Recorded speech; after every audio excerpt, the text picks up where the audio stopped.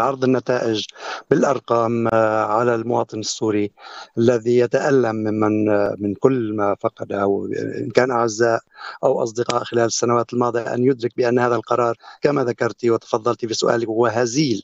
يعني النتائج بحد ذاتها وتعداد الدول التي صوتت ضد هذا القرار آه، يدعو للتساؤل. لذلك يدعو أيضا ما هو جدوى أو قوة هذا القرار عندما نجد أن دولتين عظميتين كالصين وروسيا تقف بوجه هذا القرار. هذا واحد. اثنين الدولتان تدعمان نظام الأسد على الأرض وليس فقط في القرارات الدولية. وهم جزء من الألم السوري وخاصة الروس الذين وأيضا ضمن تقرير سابق لمجلس حقوق الإنسان أو للجنة تحقيق خاصة وليس لمجلس حقوق الإنسان بان أيضا المواطنين السوريين مع وجود الطيران الروسي وعده طيران لدول أخرى على الأرض السورية هنالك آلام أخرى يسببها ذلك وهذا ما دعا مجلس حقوق الإنسان أو جزء منه لكي يلتئم.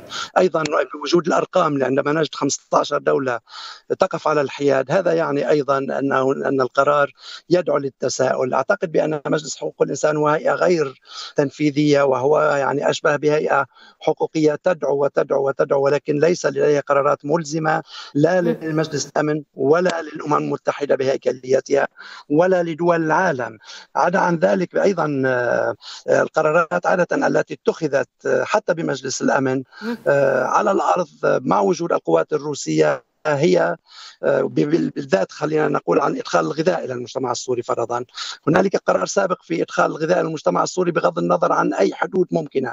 بأي مكان يمكن لأي دولة تقدم مساعدات أو الامم المتحده تجد مكان يمكن الدخول منه عليها ان تقديم الغذاء. هذا لوحده كافي بأنه لا يحتاج إلى قرار دولي واخر الاجتماعات الأخيرة. يعني يعني ما يعني ما الطرق أو الوسائل البديلة خارج لو تم التحرك خارج المنظومة الدولية مثلا على سبيل المثال التحرك أوروبيا كما جرى في نظام الولاية القضائية آه، التي تم آه، محاكمة مسؤولين عن الانتهاكات ومجرمين آه، للحرب ممن أدانوا باستخدام القوة في سوريا يعني هل من طرق أخرى يمكن اللجوء والتحرك من خلالها برأيك؟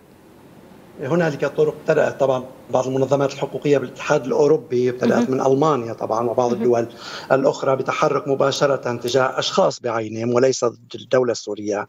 لكن عندها إدانة أشخاص بعينهم عمليا ينتهي الأمر إلى إدانة المسؤولين السوريين. المسؤولين عن هذه الجرائم منظومة النظام الأسدي هذا بالمعنى الخاص الذي يعني كان السبب لكل هذه الألام. بعتقد بأن آه، آمال الشعب السوري على الأمم المتحدة ضعيفة والأمم المتحدة تدرك ذلك. يعني لنعد كم مبعوث دولي حتى الآن آه، للملف السوري ولم نخرج بشيء بشيء على الإطلاق. لم نخرج حتى بإخراج معتقل واحد من السجون. لم نخرج حتى بإيصال غذاء إلى منطقة محاصرة بشكل جدي آه، ومباشر إلا عن طريق طبعا آه، سمسرات دولية بشكل أو بآخر وإرضاء لبعض الدول على حساب مصالح السوريين. هذا عدا عن ذلك. لذلك الاختفاء القسري الآن هنالك حديث إنه ما لا يعني غير قادرين على تحقيق امل سياسي للشعب السوري والانتقال إلى مرحلة أكثر أمن بعد عقد من الزمن من الالام على الأقل ما يمكن نطمن الأمهات اللي فقدوا أولادهم. يعني خلينا كل واحد منا يحس بإنه عنده ولد مفقود ما بيعرف وينه. هو طيب هو مش طيب عند هاي الجهه عند ذيك الجهه يعني حق انساني آدمي أقل ما يمكن أعرف إنه هذا الولد وين مصيره.